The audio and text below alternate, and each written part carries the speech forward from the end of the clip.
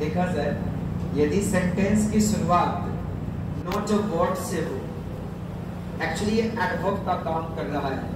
यदि सेंटेंस की शुरुआत नॉट अ वर्ड से हो, ये एडवर्बल एक्सप्रेशन है। इसके साथ हर हाल में चाहिए पार्शियल इन्वर्जन तो पार्शियल इन्वर्जन किसको कहते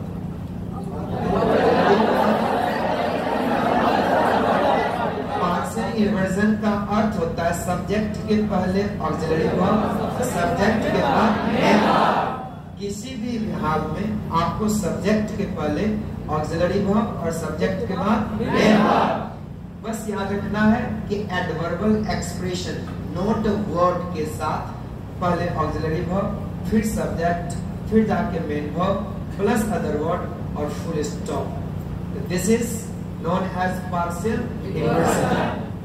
Not a word she has spoken today. अगर क्वेश्चन बनाना हो तो नॉट अ वर्ड से स्टार्ट हुआ इसके साथ पार्शियल इन्वर्जन चाहिए। ऑलरेडी हैज़ क्या है? स्पोकन क्या है? हैज़ को पीछे करेंगे और ही को बीच में स्पोकन को बाद ऐसा ऑप्शन अगर खोजते हैं ऑप्शन नंबर